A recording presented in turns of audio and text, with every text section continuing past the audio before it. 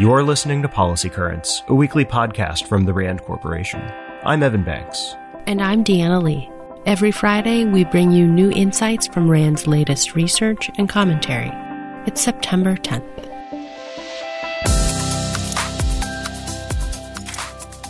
Vaccine hesitancy remains a serious obstacle to ending the pandemic for good. As the Delta variant continues to spread, daily U.S. COVID-19 deaths have reached about 1,500, nearly all among unvaccinated people. Just last night, President Biden addressed the nation, calling America's ongoing crisis a, quote, pandemic of the unvaccinated, and announcing his administration's plan to ensure more Americans get the shot. A new study out this week, authored by experts at RAND and the University of Michigan Acute Care Research Unit, addresses this very same issue, identifying ways to help increase vaccine acceptance in America. The report highlights three key areas of need. First, boosting confidence in vaccine safety and effectiveness. Second, addressing complacency about the pandemic. And third, increasing the convenience of receiving the shot. Importantly, the authors also emphasize that combating misinformation about the vaccine is key to achieving these goals. You can find the full report, which provides recommendations for public health officials, healthcare providers, policymakers, and researchers at RAND.org. More than 100,000 civilians were evacuated from Afghanistan following the Taliban's takeover. This represents just a sliver of the millions of Afghans who have lost their homes and livelihoods to the war. And RAND experts say that hundreds of thousands more people could flee, ending up in squalid camps for decades. This is particularly troubling because our research has found that only one third of refugees return home after 10 years of being displaced. So, what might it take to stave off an even bigger humanitarian disaster in Afghanistan? Well, the best solution is to prevent people from being displaced in the first place. This may come down to whether the Taliban delivers on its promise to bring stability and economic development to the Afghan people. But the international community will also need to play a major role, not only by holding the Taliban accountable to humanitarian norms, but also by incentivizing host countries to create economic opportunities that allow refugees to earn a livelihood. RAND research has shown that the ability to earn a living may be one of the most effective ways to improve refugees' self reliance and living standards.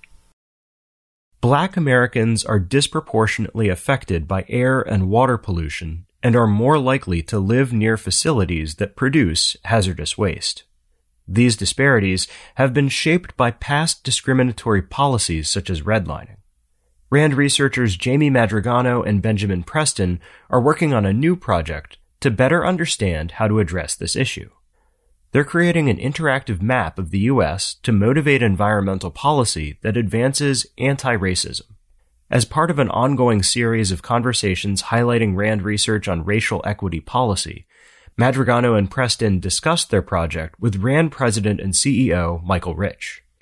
Both researchers were drawn to this new study based on patterns they've seen in their previous research.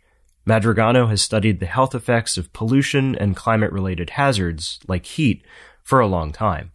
Consistently, her analyses have revealed that certain populations, in particular low income populations and racial minorities, especially black Americans, are disproportionately impacted by environmental hazards. Preston, who studies climate change and how people's vulnerability to the effects of climate change shifts over time, was interested in learning more about why people end up being vulnerable in the first place. I thought this project could be a really elegant way of demonstrating that the decisions people made and the attitudes that people had a long time ago, decades into the past, still shape people's lives today, said Preston. It's about decisions and choices that people in power make on the ground that affect people's lives. Republicans who buy individual health care plans were less likely than Democrats to shop for policies using the Affordable Care Act marketplaces, thus missing out on government subsidies. That's according to a new RAND study. Without taking advantage of these subsidies, Republicans were foregoing an average of about $800 annually compared with similar Democrats. These results suggest that political polarization may be a factor in determining who makes full use of federal programs designed to make healthcare coverage more affordable for Americans.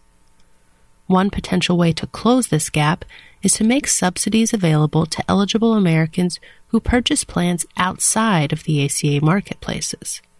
Additionally, political polarization could present a challenge for those who develop marketing and education programs related to the health insurance exchanges. Lead author of the study, Joachim Hero, suggests avoiding labels and language in these campaigns that would bring to mind any contentious political battles about healthcare. Violent extremism, especially violent white extremism, is seen as one of the greatest domestic threats facing the U.S.